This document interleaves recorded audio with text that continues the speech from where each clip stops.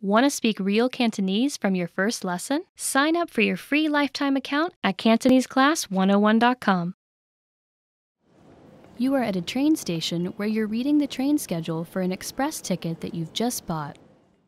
On which days are there no express trains running?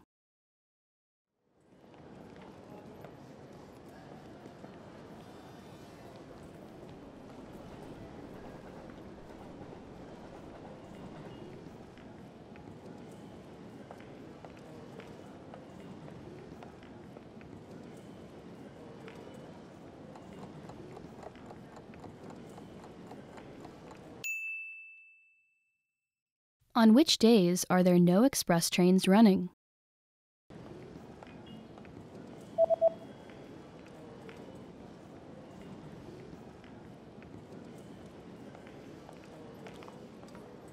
There are no express trains running on public holidays and the third Sunday of every month. 公众假期每月第三个星期日。